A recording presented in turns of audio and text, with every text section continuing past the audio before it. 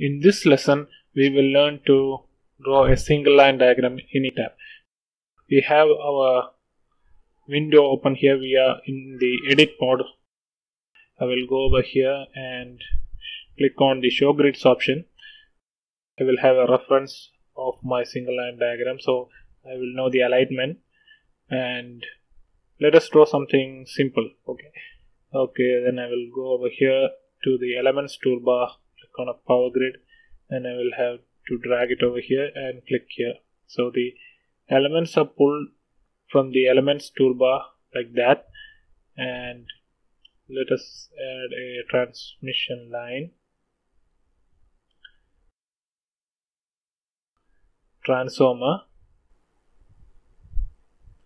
And uh, let me see. Okay we'll need a cable and a load.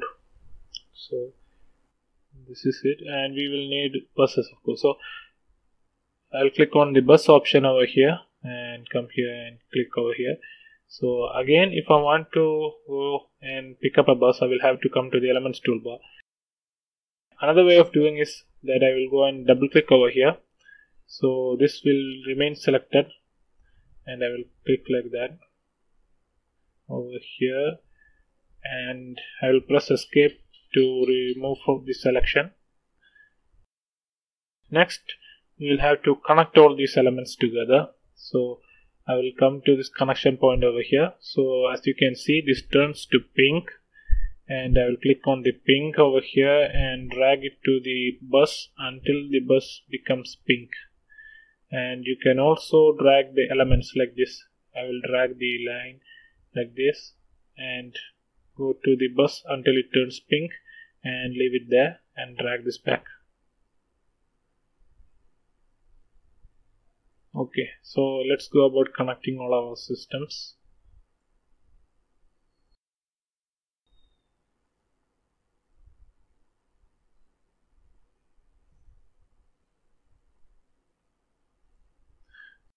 When drawing a single line diagram, it is best to make sure everything aligns in a perfect way so that it can be pleasing to your eyes. So one option to do this to select your single line diagram.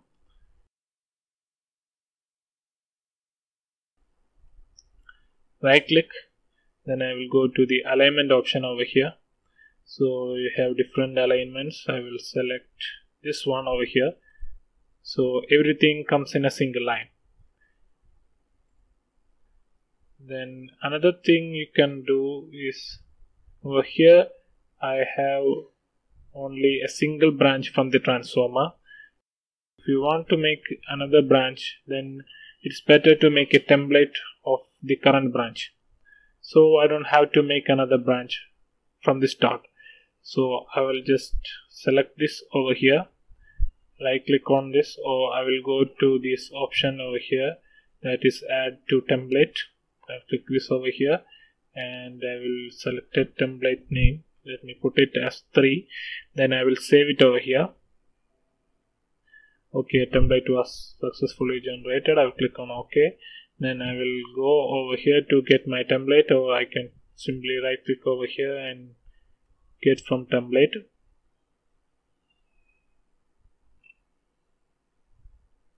and I will take this template. I'll click on OK. And here we see the same has come as a template. So I'll put it over here and I will connect it to this bus. Also we can drag this bus like this over here. And you can also change your connections like this so it could be more appealing.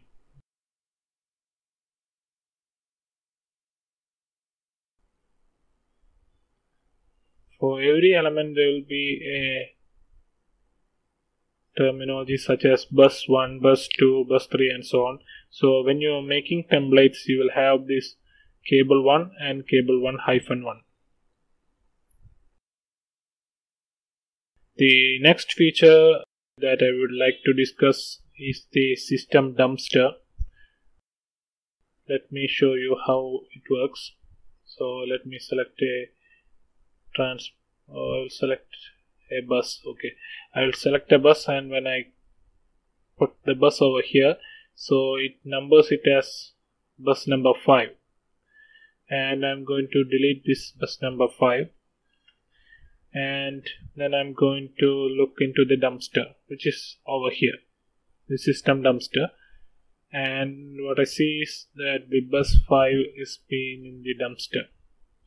So if I want to bring back the elements to my single line diagram so I could go back to the dumpster then I would come here and I would copy this.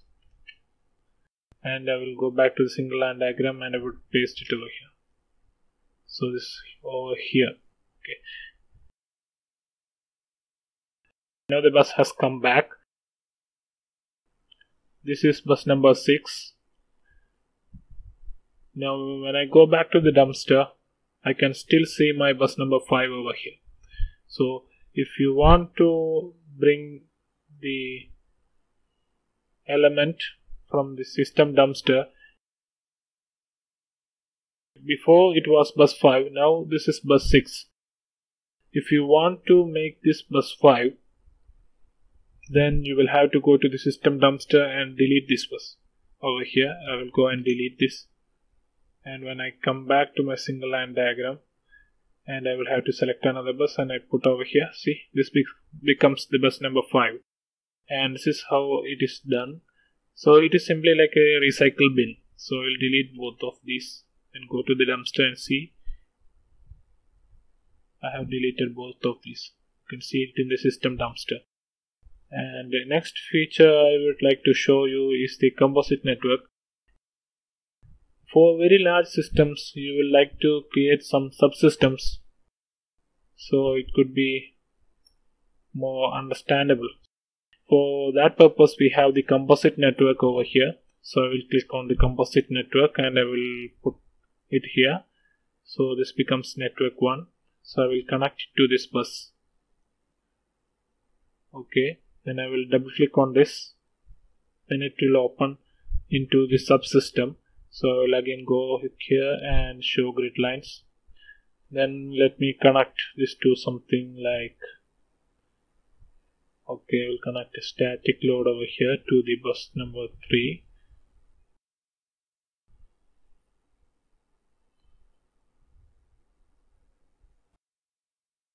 let me go to my main window. This is the main system and for, from the main system we go to the subsystem. Actually this is all connected to a single system. That's all for this lesson. So see you in the next lesson